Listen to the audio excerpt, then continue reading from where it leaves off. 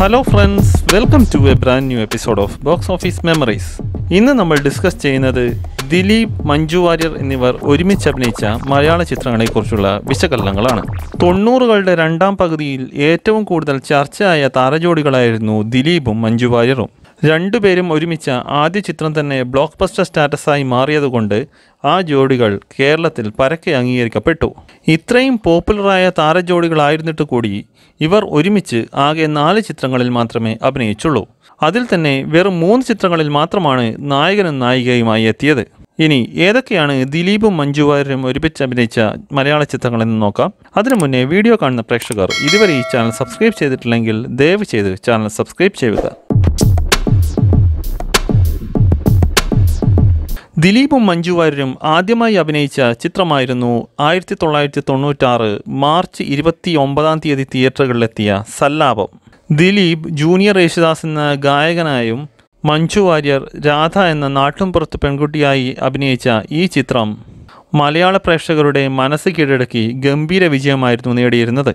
കൃപ ഫിലിംസിന്റെ ബാനറിൽ സുന്ദർദാസ് സംവിധാനം ചെയ്ത ഈ ചിത്രത്തിൽ മനോജ് കെ ജയനും മറ്റൊരു പ്രധാനപ്പെട്ട കഥാപാത്രത്തെ അവതരിപ്പിച്ചിരുന്നു.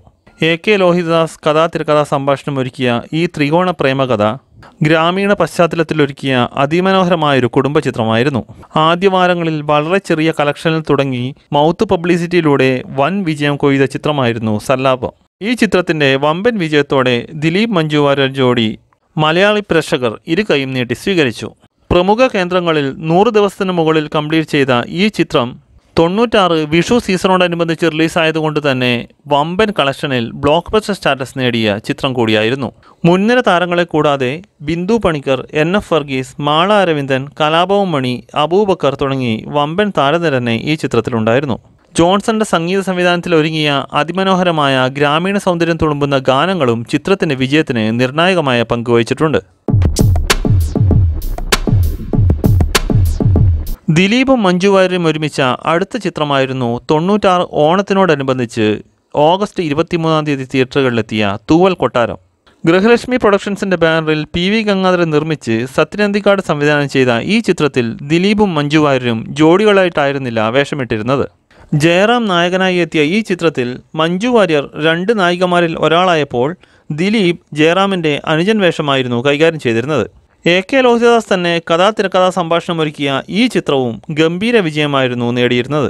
സത്യനദിക്കാടിന്റെ സ്ഥിരം ഫോർമുലയിലൊരുങ്ങിയ ഈ ചിത്രം കുടുംബ പ്രേക്ഷകരെ ലക്ഷ്യം വെച്ചായിരുന്നു തിയേറ്ററുകളിൽ എത്തിയത് അക്ഷരാർത്ഥത്തിൽ കുടുംബ പ്രേക്ഷകർ ഏറ്റെടുത്ത ഈ ചിത്രം തൊണ്ണൂറ്റാറിലെ ഓണം വിന്നറുമായി. സുകന്യ മുരളി ഒടുവിലുണ്ണികൃഷ്ണൻ ഇന്നസെന്റ് ബിന്ദു പണിക്കർ മാമുക്കോയ തുടങ്ങിയവരായിരുന്നു മറ്റു പ്രധാനപ്പെട്ട കഥാപാത്രങ്ങളെ അവതരിപ്പിച്ചത്. ജോൺസൺ ആയിരുന്നു ഈ ചിത്രത്തിന്റെയും സംഗീത സംവിധാനം നിർവഹിച്ചത്. പ്രമുഖ കേന്ദ്രങ്ങളിൽ നൂറ് ദിവസത്തിന് മുകളിൽ കൺവീർ ചെയ്ത ഈ ചിത്രത്തിലെ ഒട്ടുമിക്ക ഗാനങ്ങളും സൂപ്പർ ഹിറ്റ് ഗാനങ്ങൾ തന്നെയായിരുന്നു. ദിലീപും മഞ്ജു വാര്യരും ഒരുമിച്ച് അഭിനയിച്ച മൂന്നാമത്തെ ചിത്രമായിരുന്നു ആയിരത്തി തൊള്ളായിരത്തി തൊണ്ണൂറ്റാറ് ഡിസംബർ ഇരുപതാം തീയതി തിയേറ്ററുകളിലെത്തിയ ഈ പുഴയും കടന്ന്. ക്രിസ്മസ് റിലീസായി എത്തിയ ഈ റൊമാന്റിക് ഡ്രാമ ചിത്രം കമലായിരുന്നു സംവിധാനം ചെയ്തിരുന്നത്. സല്ലാപത്തിന് ശേഷം മഞ്ജു വാര്യർ വീണ്ടും ദിലീപിനെ നായികയായി എത്തിയ ഈ ചിത്രവും കുടുംബ പ്രേക്ഷകരെ ലക്ഷ്യം വെച്ചുള്ളതായിരുന്നു.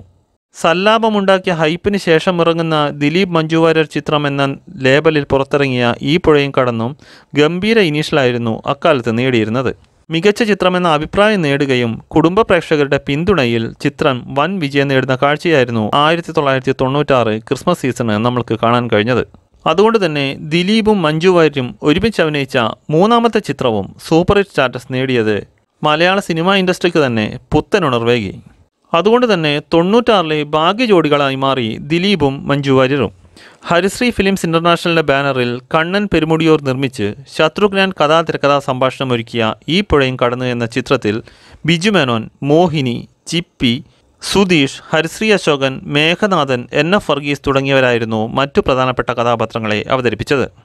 ഈ പുഴയും കടന്ന് എന്ന ചിത്രത്തിലെ അഭിനയത്തിന് മഞ്ജു വാര്യർക്ക് ആയിരത്തി തൊള്ളായിരത്തി തൊണ്ണൂറ്റാറിലെ മികച്ച നടിക്കുള്ള കേരള സംസ്ഥാന അവാർഡ് ലഭിച്ചിരുന്നു. ജോൺസൺ തുടർച്ചയായി മൂന്നാമത്തെ തവണയും ദിലീപിന്റെയും മഞ്ജു വാര്യരെയും കൂടി ഒരുമിച്ച ഈ ചിത്രത്തിലെ എല്ലാ ഗാനങ്ങളും സൂപ്പർ ഹിറ്റ് ഗാനങ്ങളായിരുന്നു.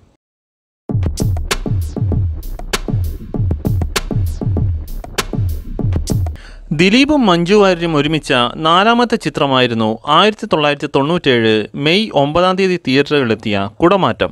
മഞ്ജു വാര്യർ മൂന്നാം തവണയും ദിലീപിനെ നായികയായി എത്തിയ ഈ ചിത്രം സംവിധാനം ചെയ്ത് സല്ലാപത്തിലൂടെ അരങ്ങേറ്റം കുറിച്ച സുന്ദർദാസ് ആയിരുന്നു തികച്ചും ഗ്രാമീണ പശ്ചാത്തലത്തിൽ ഒരുക്കിയ ഈ ചിത്രം എന്നാൽ മറ്റു മൂന്ന് ചിത്രങ്ങളെപ്പോലെ ശ്രദ്ധിക്കപ്പെട്ടില്ല. അതുകൊണ്ട് തന്നെ ദിലീപ് മഞ്ജു വാര്യർ എന്നിവർ ഒരുമിച്ച ആദ്യ പരാജയ ചിത്രമായി മാറി കുടമാറ്റം. ഇവർ ഒരുമിച്ച മറ്റ് മൂന്ന് ചിത്രങ്ങളുമായുള്ള സാമ്യമായിരുന്നു ചിത്രത്തിന്റെ പ്രധാന പോരായ്മ. നവാസ് ബാബു കഥാതിരക്കഥാ സംഭാഷണം ഒരുക്കിയ ഈ ചിത്രത്തിൽ വിജയരാഘവൻ ബിജു മേനോൻ മോഹിനി കലാഭവൻ മണി മേഘനാഥൻ നാദിർ ഷാ തുടങ്ങി വമ്പൻ താരനിര തന്നെ ഉണ്ടായിരുന്നു. ആരാധന ആർട്സിന്റെ ബാനറിൽ നടൻ രാമു നിർമ്മിച്ച ഈ ചിത്രത്തിന്റെ സംഗീത സംവിധാനവും ജോൺസൺ ആയിരുന്നു നിർവഹിച്ചിരുന്നത്. കുടമാറ്റത്തിന് ശേഷം ദിലീപും മഞ്ജു വാര്യരും ഒരുമിച്ച ചിത്രങ്ങളൊന്നും ഉണ്ടായിരുന്നില്ല.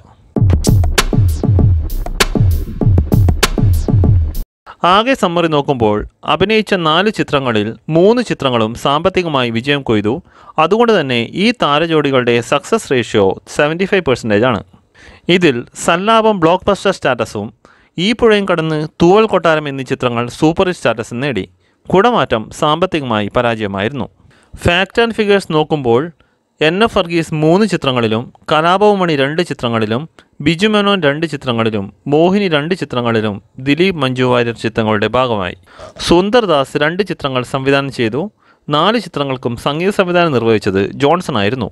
ഇത്രയുമാണ് മലയാളികളുടെ ഇഷ്ട ജോഡികളായിരുന്ന ദിലീപും മഞ്ജു വാര്യരും ഒരുമിച്ച് അഭിനയിച്ച മലയാള ചിത്രങ്ങളെക്കുറിച്ചുള്ള വിശകലനങ്ങൾ. ഈ വീഡിയോ നിങ്ങൾക്ക് ഇഷ്ടമായെന്ന് കരുതുന്നു. വീഡിയോ ഇഷ്ടമായവർ ചാനൽ സബ്സ്ക്രൈബ് ചെയ്യുക. നോട്ടിഫിക്കേഷന് വേണ്ടി ബെൽ ഐക്കൺ ക്ലിക്ക് ചെയ്യുക. വേറൊരു വിഷയവുമായി അടുത്ത വീഡിയോയിൽ കാണുന്നതുവരെ നന്ദി നമസ്കാരം.